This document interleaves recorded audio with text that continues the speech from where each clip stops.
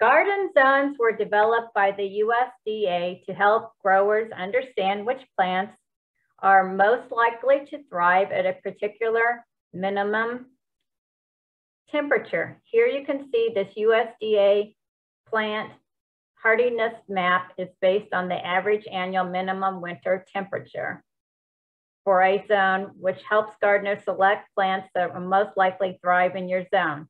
Zone seven, shown in light green, and also indicated by the arrow, 7A and 7B, includes our region of Virginia.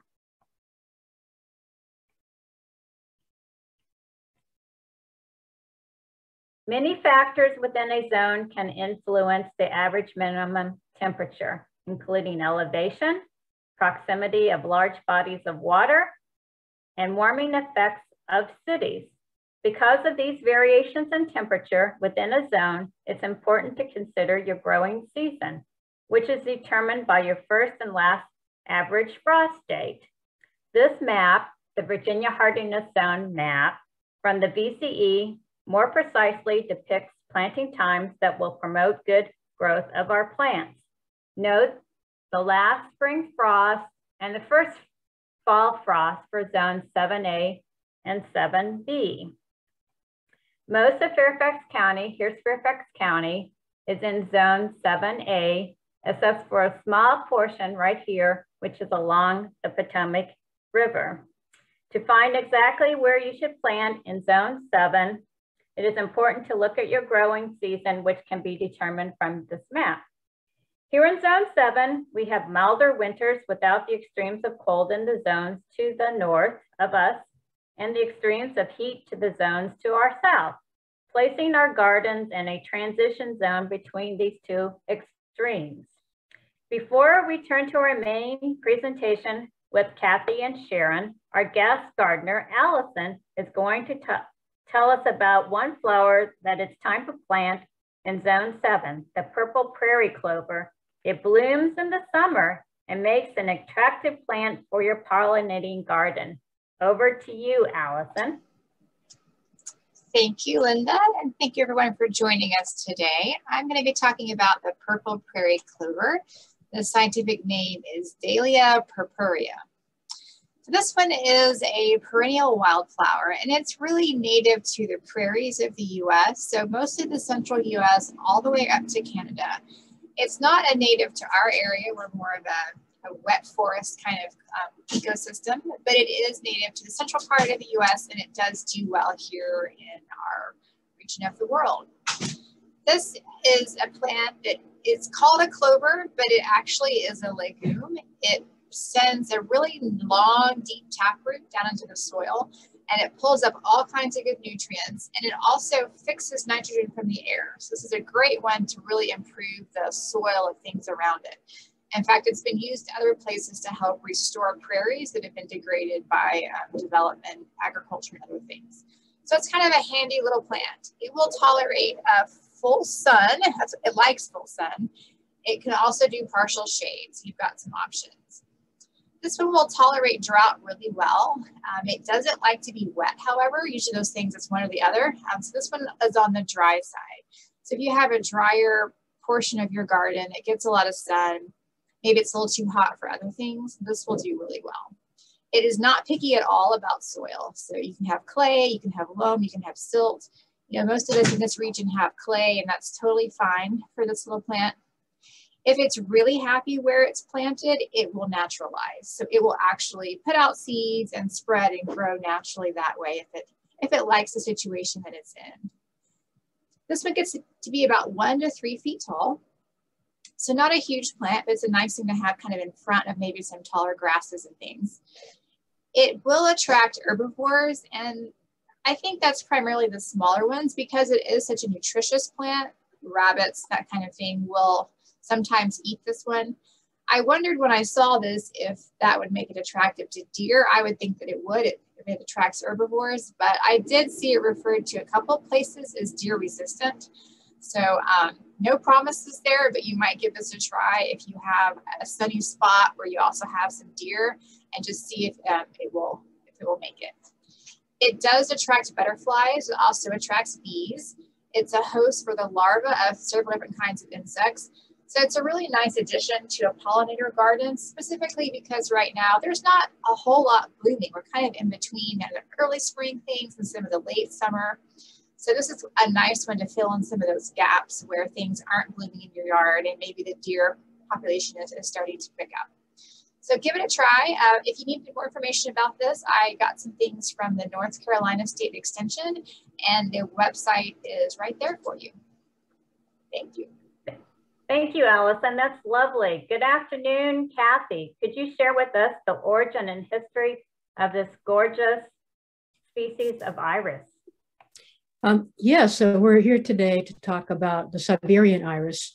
The scientific name is Iris sibirica. This is an easily recognizable plant.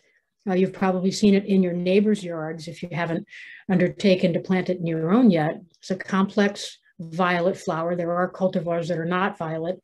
It's beardless and it sits atop stalks that are two feet tall or higher. So it's quite an impressive addition to, um, to a garden. So why is it called sibirica? It was originally collected sometime before 1500 in Siberia. Uh, and it was cultivated since then under other names in monasteries across Europe and even Britain It was given the name sibirica by Carl Linnaeus, the great classifier who brought us so many uh, specific ways of identifying um, the scientific name plants by their scientific names um, in his book Species Plantarum in 1753. Kathy, I'm looking for an attractive perennial with a long bloom duration for my cutting garden. Would the Siberian iris be a good choice for my cutting garden? Uh, it's a great choice for a cutting garden because it has such long stalks, which you can uh, use to great effect in um, a vase that may con contain only these irises uh, or can be arranged with other long stem flowers. Since the stem starts out so long, you can also adjust the height down to accommodate whatever vase you may have available in your house. Um, this plant is a perennial, uh, plant once, enjoy for many years. It's a very dependable bloom producer if it's planted in hospitable, hospitable conditions, as we'll discuss a little later in the presentation. It has a wide ranging habitat. It has been successfully established and enjoyed by gardeners in zone two through zone nine, obviously including uh, zone seven, as we just discussed, covering most, most of uh, Fairfax County. Um, the additional bonus is it has quite a long bloom life if protected from heavy winds and rain and hail, uh, the blooms can last until early summer. And that's just a question of where you plant it. If you plant it on the side of your, um, your woodpile, for example, that would be adequate protection from the vagaries of spring weather to give you a very extended uh, bloom life. Kathy, if I if I grow this plant in my home garden, what kind of conditions do I need to provide it in order to thrive? Uh, this um, iris is practically made for what we have to offer here in zone 7A. The plant prefers full sun, but it can tolerate part shade. A lot of us live in uh, older wooded neighborhoods where the shade is a fact of what you've got to deal with in your yard. And it will do fine as long as it receives at least three to four hours of sun at some point during the day. It blooms best in the full sun. If you find after enjoying it for a year or two that it's not blooming to uh, full effect, you may need to resituate it uh, to more favorable light conditions, but it's very easy to dig it up and move it over. The plant prefers moist soil, but not, not too wet. Um, um, I generally try not to plant it in areas that are frequently soaked or saturated. But if you have those areas in your yard where it fills up when it rains, but drains pretty quickly when the sun comes out, it'd be fine to plant it in that area too. Uh, the, the, Siberian iris prefers slightly acidic uh, soil, the pH of six to seven, but it will carry on in the uh, most of the soils that nature has given us here in zone 7A. Um, after you do a soil test to establish the pH, you uh, can amend the soil to make it a little more acidic if you need to with peat moss or compost. Now, to keep the plant gro uh, growing and going strong, try to keep it moist during the growing season. And to do that, you might consider planting it near annuals that you have to water regularly. Then you won't forget that you need to give your Siberian iris a little water. That's a great idea, Kathy. Thank you so much. And here's Kathy's references. Um, the Siberian iris is so easy to grow that a lot of the uh, EDU sites that we like to rely on in the Master Gardening Program, um, they give it kind of short shrift um, because they know that you can just drop it into the ground and enjoy it for years afterwards. So I've given you a couple of um, state EDU sites to go to. Um, one that I thought was really interesting, apart from the EDU sites, was this ORG site uh, from the Society of Siberian Irises. Um, it's not a fancy schmancy website, but it does have a page uh, called Recent Introductions, and there you can enjoy some spectacular photos of Iris sibirica cultivars. Thank you so much, Kathy, for this informative information on the characteristics and care of Siberian iris. Sharon, welcome to our conversation, and thank you for joining us. Continue this discussion on the stunning flower for our Zone 7 garden. Sharon, what topics will you be discussing with us today? Well, Kathy's given you the introduction on how to take care of it. I'm going to mention the pests, the diseases, benefits, any kind of garden theme if you want to plant this, how you can deal with it. We'll mention a few of the interesting cultivars and companion plants. And then last of all, it does grow, so you, you may need to propagate it. So let's continue. Great. Sharon, are there any pests or disease issues that should be aware of in growing Siberian iris? Well, actually, as Kathy said, the Siberian iris is such an easy care plant that it really has no serious insect, pest, or disease problems. It's seldom bothered by the iris borer, soft rot, or leaf spot that can affect the bearded iris. However, even though the Siberian iris is resistant to the iris borer, if the iris borer insect is already affecting the bearded iris in your yard nearby, it could migrate to your Siberian. So the best way to avoid this is just good garden sanitation by cleaning up all the dead foliage around your irises. Great tips. Sharon, could you tell us some of the benefits of growing Siberian iris? Well, we mentioned a few of them.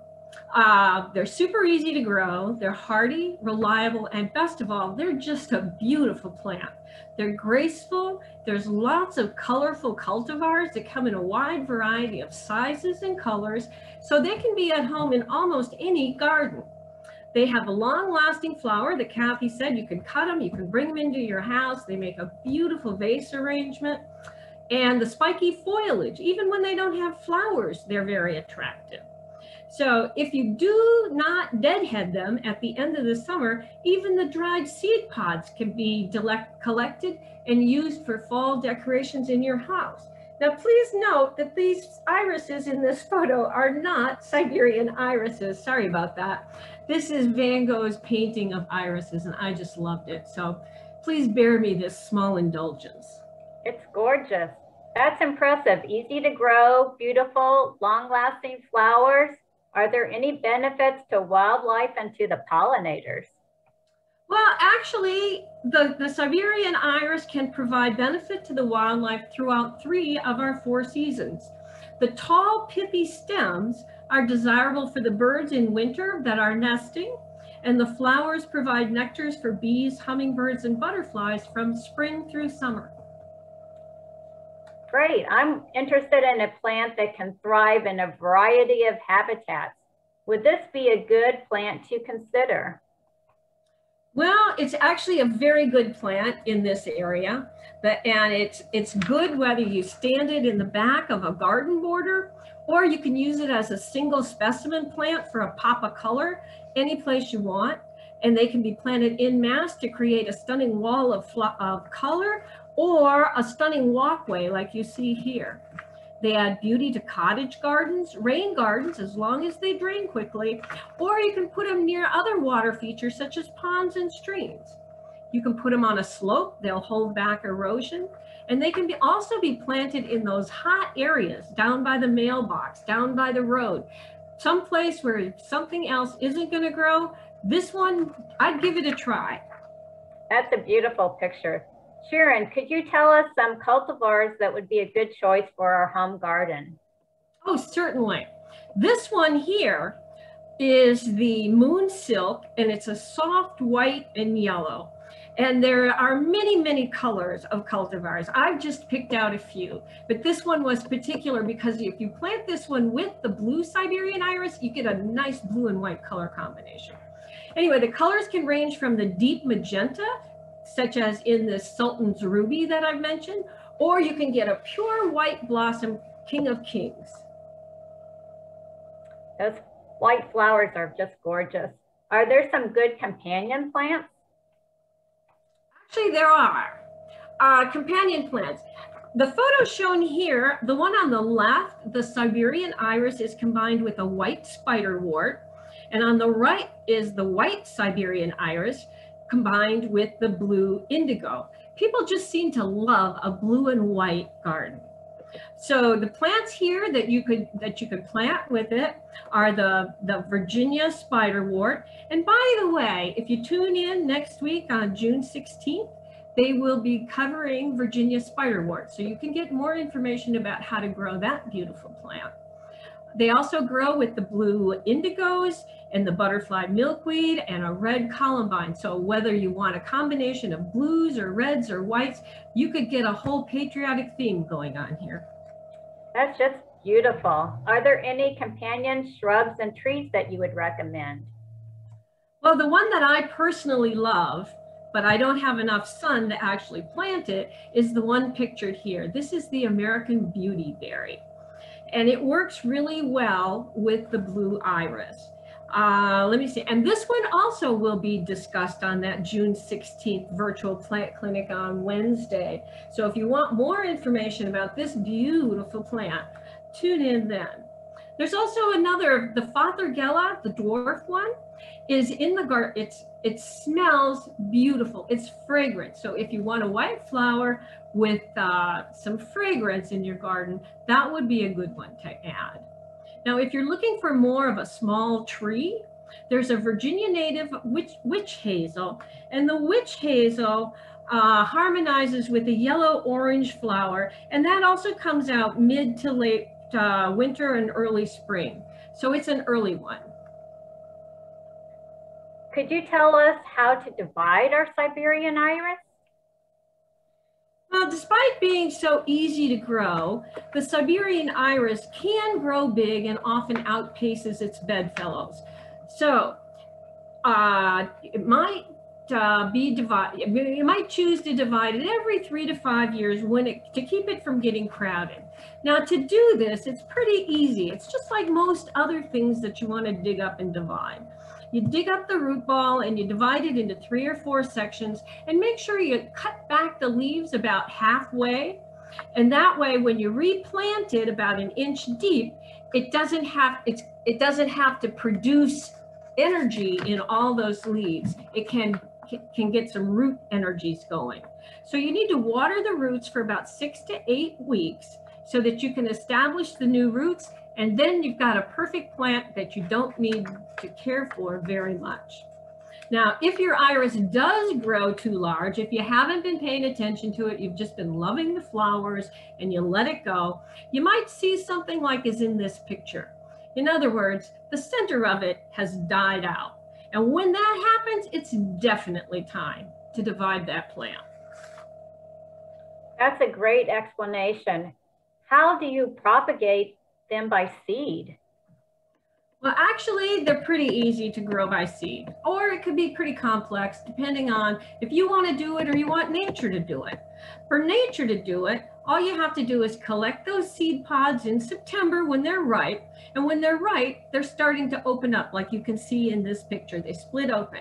And you can do what nature does. You can sprinkle those seeds wherever you want that Siberian iris to grow. And then the fall and the winter rains will do the rest of it. However, if you decide to collect those seeds and bring them in the house, you're going to have to do what Mother Nature does. So you're going to have to let the seeds dry out for a couple weeks. Then you're going to have to soak them. Then you're going to have to refrigerate them for what would be a winter, like 12 to 14 weeks, so that it simulates winter. And this whole refrigeration step is known as stratification. So after you stratify the seeds, then you can take them out in the spring and plant them. So you can do it the easy way, you can do it the hard way, but if you want more information, there's a website at the end, which is Iris of Canada's website, and they go into Im immense detail about how you can propagate this plant. Sharon, thank you for that great segue. And here's Sharon's references. Now, the one I want to point out, Kathy pointed out the uh, Iris Society that we have here. There's also an Iris Society of Canada. So Iris of Canada is a great website. Uh, and again, it's there's just so much information out about these plants and they're just so beautiful in so many colors. We certainly hope you get some and enjoy them. Thank you so much.